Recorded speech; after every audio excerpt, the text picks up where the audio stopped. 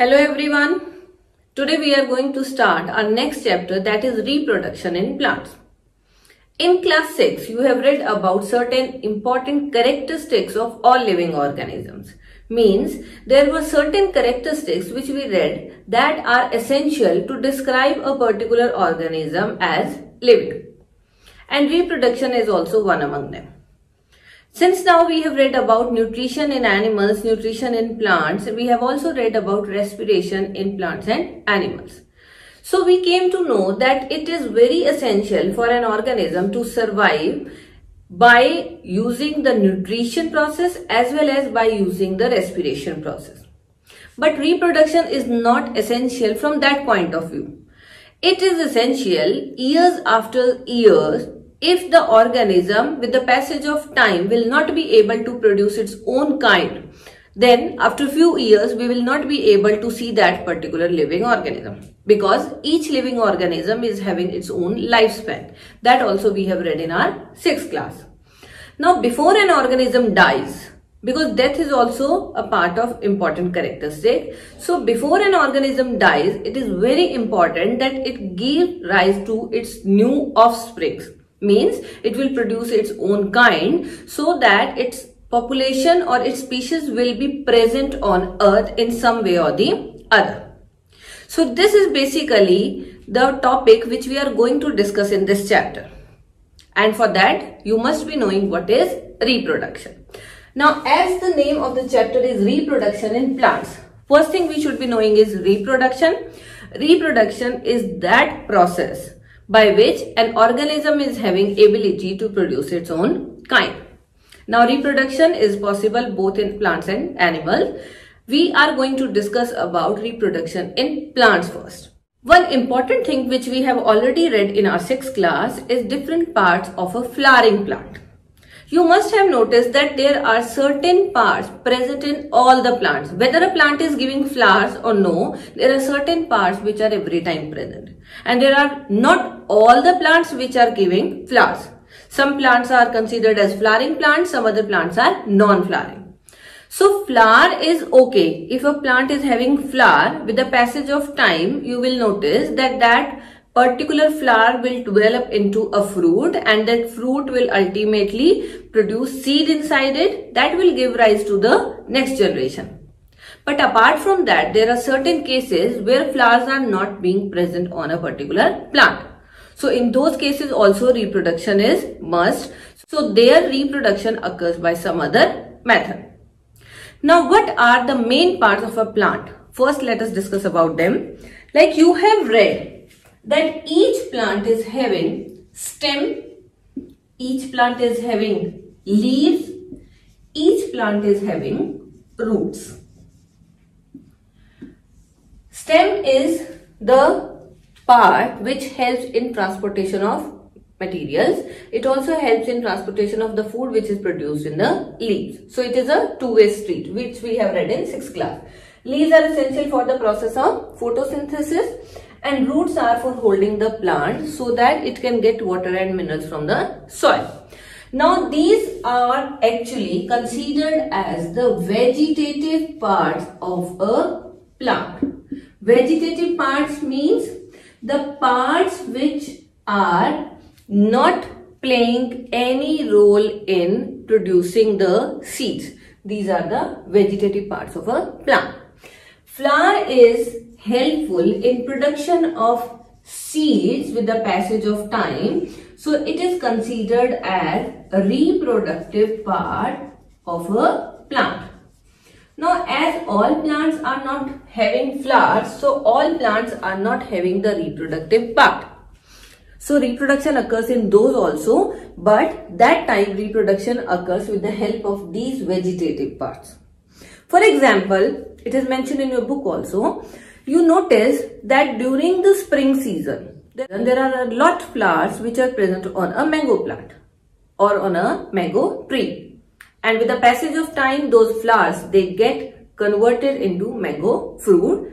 Inside the mango fruit, we have a seed. We will eat all the pulp of the fruit and will just throw the seed. That seed, if sown, it will be converted into a new plant and after a certain period of time again that plant or tree will start giving flowers. So that is possible in case where we will get the seeds. But if we are not having flowers only on a particular plant, then we will not be able to get seeds.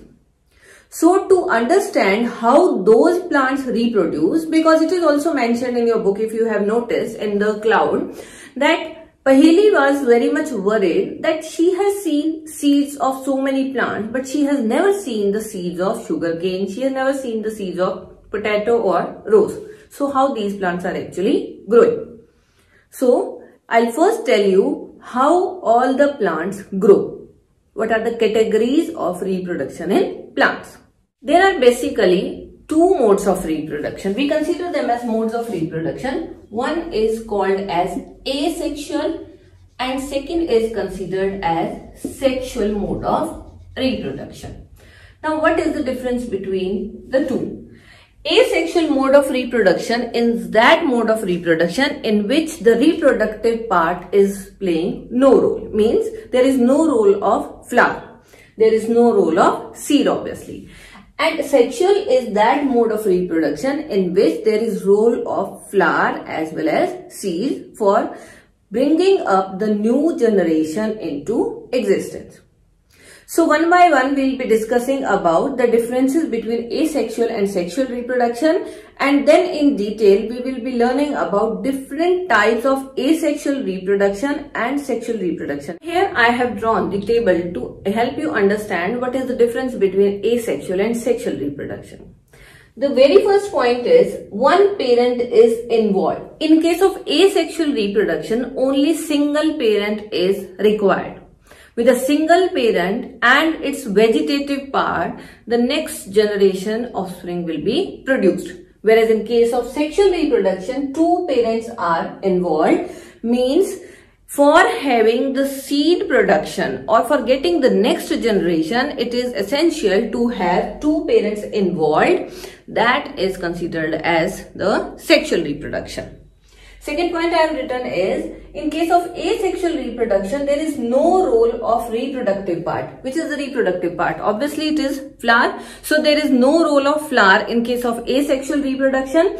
Whereas, there is role of reproductive part that is flower plays a very important role rather the main role in case of sexual reproduction. Then, I have written no seed formation because it is not having the reproductive part role. So seed formation obviously will not take place. Whereas in case of sexual reproduction, because of the flower, seed formation will take place and we'll get the seeds which will help in the formation of next generation plant. Then I have written offsprings are identical to the plants that are the parent plant. Offspring means the next generation, means the young ones. So offspring in case of the asexual reproduction, these are identical, means they are exactly similar to the parent plant to which they belong. Whereas in case of sexual reproduction, the young ones or offsprings, they may show variations. Variations means they will not be exactly same.